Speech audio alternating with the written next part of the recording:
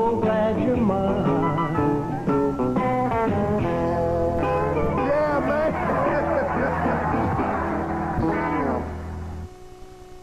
It has a powerful 150 horsepower.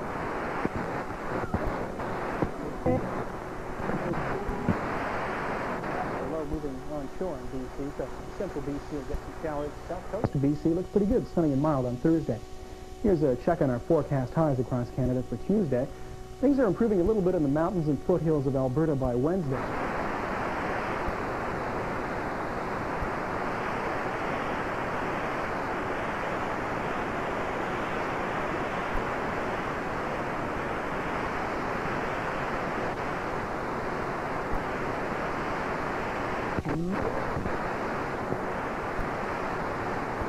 Where's it?